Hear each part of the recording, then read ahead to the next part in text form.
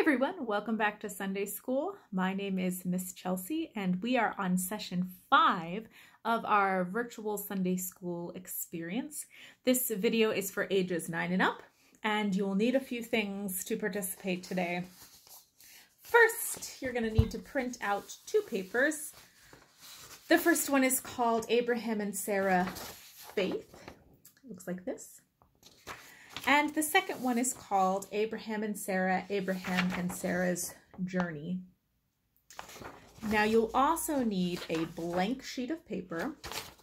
Of course you'll need some things to color with. I have my whole bag of crayons with me today, but you can also use markers or colored pencils and something to write with.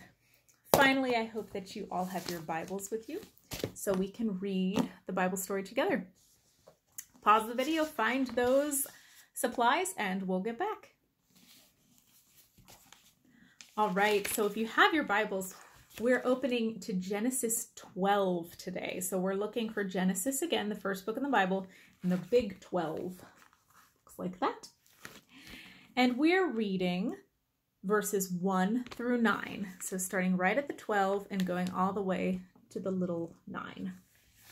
Follow along with me.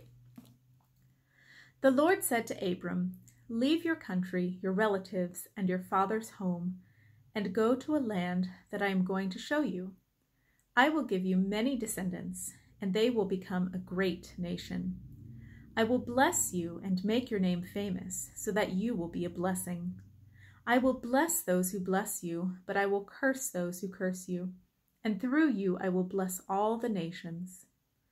When Abram was 75 years old, he started out from Haran, as the Lord had told him to do, and Lot went with him. Abram took his wife Sarai, his nephew Lot, and all the wealth and all the slaves they had acquired in Haran, and they started out for the land of Canaan. When they arrived in Canaan, Abram traveled through the land until they came to the sacred tree of Moreh, the holy place at Shechem. At that time the Canaanites were still living in the land.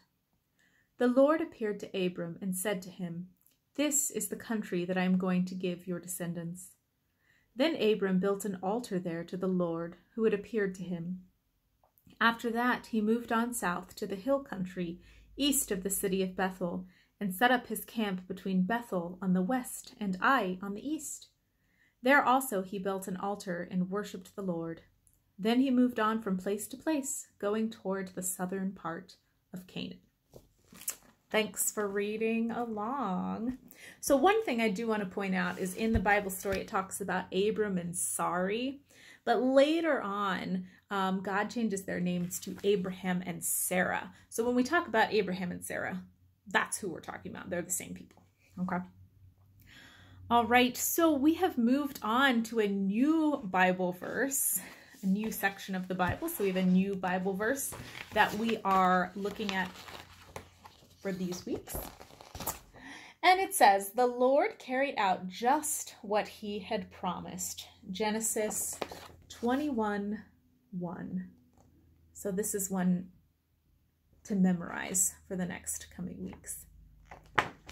Awesome.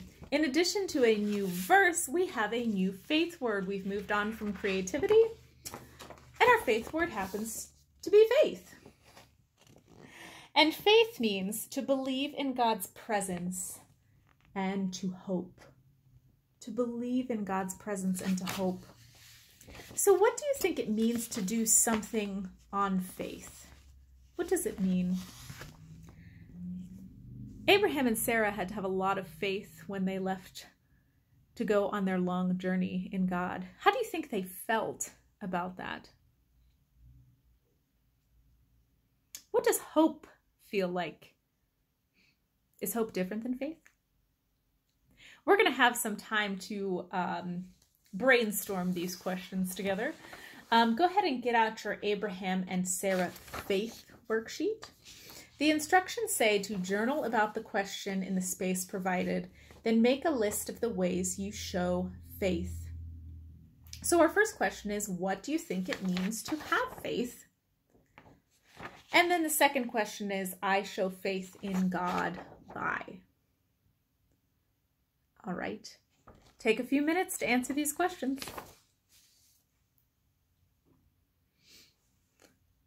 All right, we're back. So, what does it mean to have faith?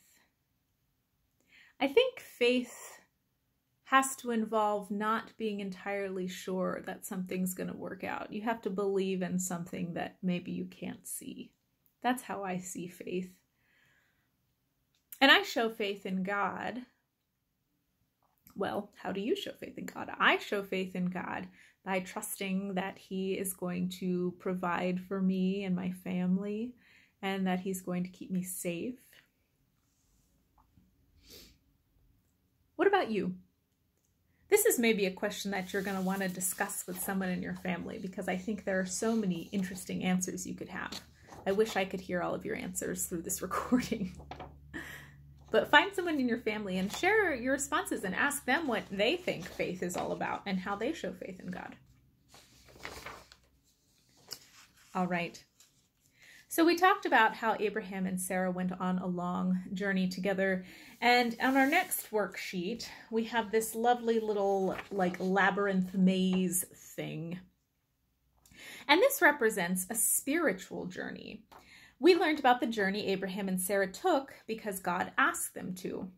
So let's imagine that their journey and think about our own journeys in faith as we trace through this maze. We are trying to get from the start to the finish.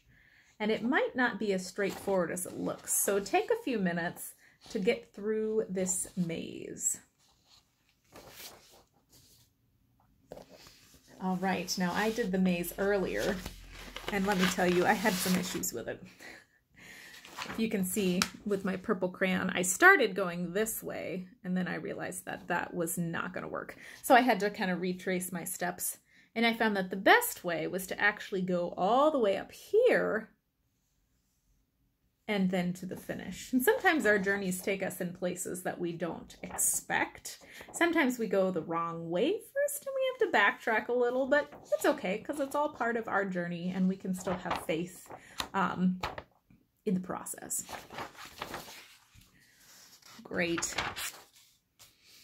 We learned about Abraham and Sarah's faith in God's promises as they moved through their life you're going to get a chance to draw a map that shows some important parts of your faith journey. So, our faith journey is anything that's happened in our life that has greatly affected our faith or been really important to our faith. So, before I let you do this, I'm actually going to show you mine to give you an example. So, my faith journey, I included some important key elements that remind me of my faith, like my baptism, now, that happened when I was a baby, so I don't really remember it, but it was still an important part of my faith. My confirmation, which I went through when I was, um, I guess it was in seventh grade, sixth or seventh grade. Um, and uh, another really important part of my faith was when I joined the youth group at my church because that really helped to build my faith. And then at the bottom here, I put um, becoming a church member because I became a church member at our Methodist church in Ohio and that was a that was a great decision that I made, and it was really important um, in my faith journey. So you don't have to have a ton of things, but maybe pick a few key parts in your life that had to do with faith, um, and you can draw pictures, you can write words, and just connect them so that they look like a little journey. Have fun. All right. So again, your faith journey is not going to look like mine. It's not going to look like anybody's because everyone has their own journey. But I encourage you to show your faith journey picture to someone in your household um, and talk about it. Talk about why those were the important parts of your faith journey. We learned about God's promises to Abraham and his family. God blessed Abraham and his family in many ways. So let's take some time to think about and write the ways we hope God blesses us through God's promises. Now, I would suggest you just write these on the back of your faith map. So now we're not thinking about the past, we're thinking about the future. We're thinking about ways that we hope that God will bless us. Maybe you hope God blesses you with good health or a family to always be there for you and love you um, or maybe even a good job way, way in your future sometime. Um, so go ahead and take some time to write a list on the back of your map of ways that you hope that God will bless us into our futures. All right, so today was a lot of reflecting, a lot of reflecting and writing on the way um, God is faithful to us, how he has been faithful to us, and how he will continue to be faithful to us. So let's go ahead and pray together. God, thank you for being with us on our faith journeys as you were with Abraham and Sarah. Amen. Thank you so much for coming to Sunday school, and we'll see you next time.